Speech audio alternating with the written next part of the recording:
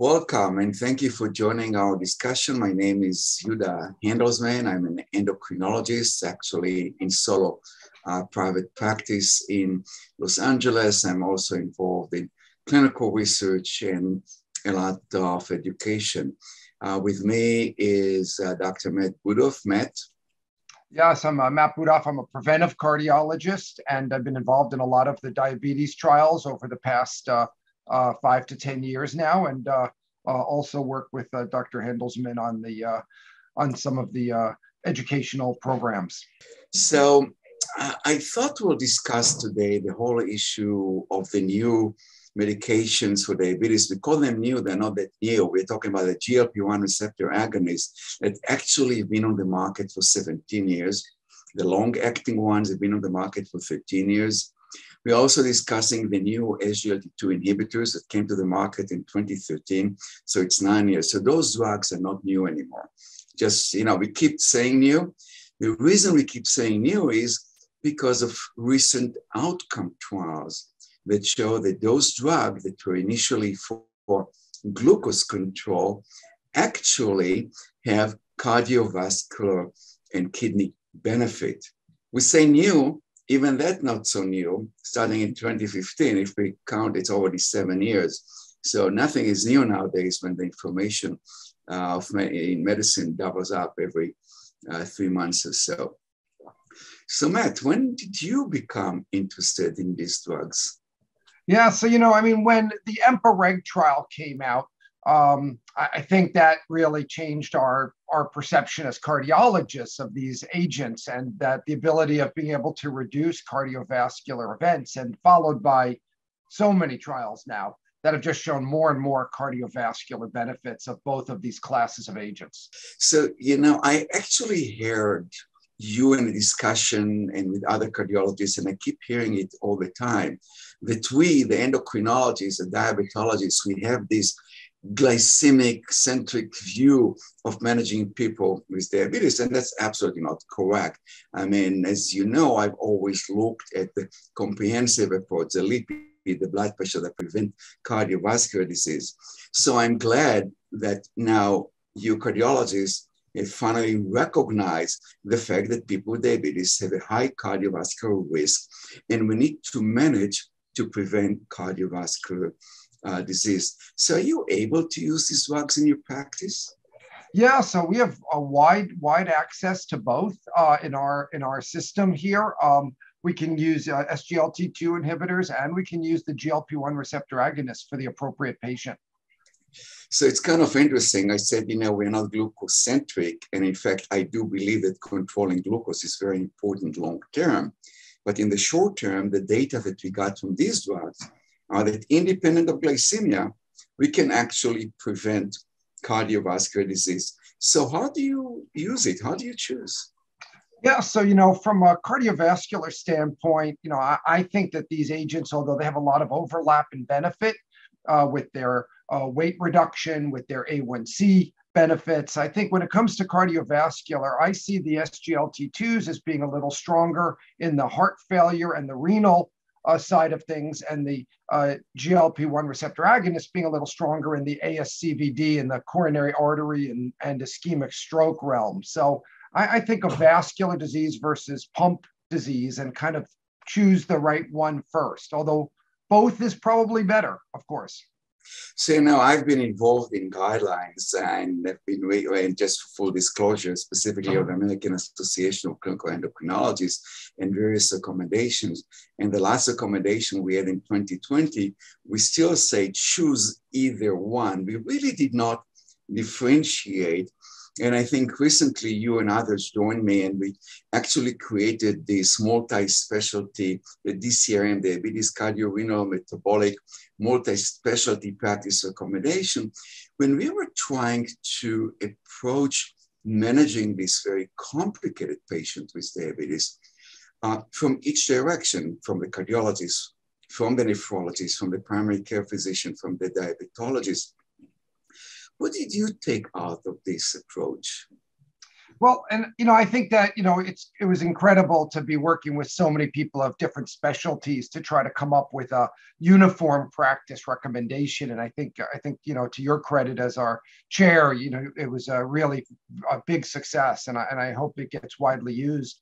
Um, but I, I, think it's very helpful. I think you can talk about, you know, what what disease predominates in that person. If it's obesity, then you might want to go with a, a GLP-1 receptor agonist. They're a little better for weight reduction. If it's A1C control, probably GLP-1 receptor agonist may be the better first line therapy. But I think our guidelines were try to use both of these great agents if, if possible together. And we can't always do that because of cost but I think largely that's what we should where we should be going with diabetes control these days.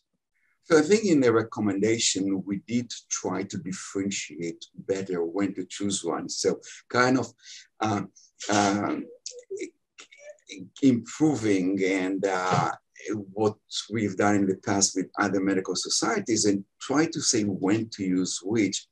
I think you're right. I think it's clear that if somebody has CKD today, we have to choose an SGLT2 inhibitor because of the great uh, data that we got actually from all the SGLT2 inhibitors, and particularly though we have seen it with um, uh, empagliflozin and uh, uh, and dapagliflozin, which actually we also see that impact in non-diabetes which was important for our recommendation because we looked at patients not just with diabetes, but also with cardiorenal metabolic uh, complications.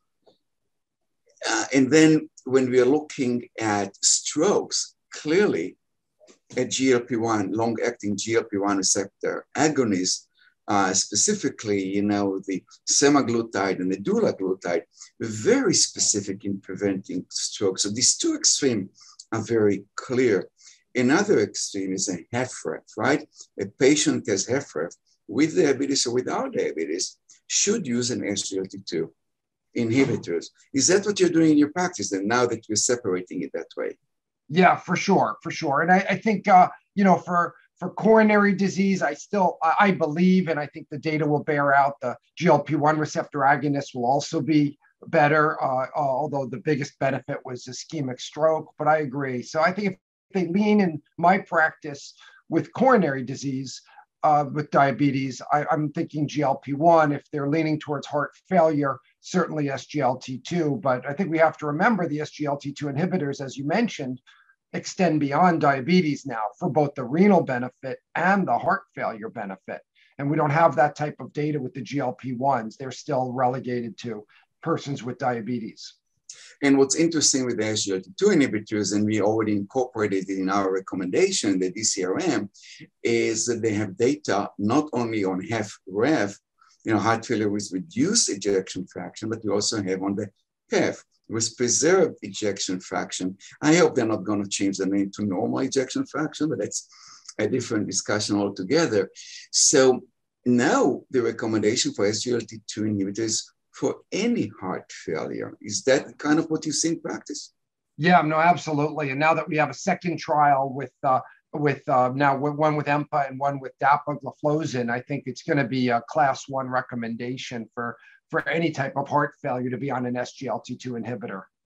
Yeah, it's, it's interesting. We already have another drug, but we don't have it yet in the market uh, the sotagliflozin, which also showed very strong data on both REF and PEF.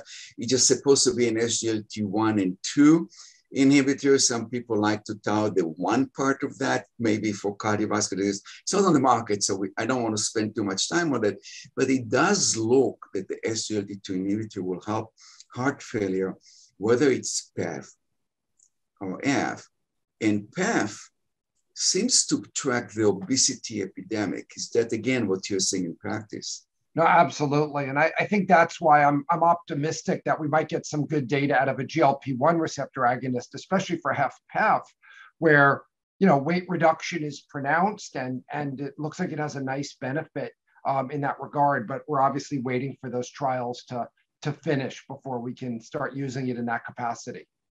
So yeah, so in the studies that we have seen, um, And that's how our recommendation came. It was for kidney first SGLT2 inhibitor, but because we've seen some benefit in the outcome trials with GLP-1 receptor agonist on the kidney, we said that if we cannot do SGLT2 inhibitor, we will do a GLP-1 receptor agonist. For HFrEF, it's a bit more complicated. With it for HFpEF, there may be emerging data, as you're saying, and there's some trial uh, going on with that. But you know, you mentioned that that you're looking at the vascular disease, the cardiovascular disease, and that's actually your profession and your forte. There is some data to show that the SGLT2 inhibitors do have some impact on the vascular stuff. Even in EMPA-REG that we mentioned, where we saw that there was a differentiation within what, two, three months. We already saw the differentiation that was primarily, as you said, has to do with fluid and balance and volume.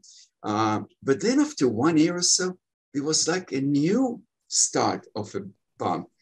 And that looked like it could have been more atherosclerosis uh, type. And with the SGLT2, SGLT1, the sotagliflozin, there's clearly a vascular component that is there.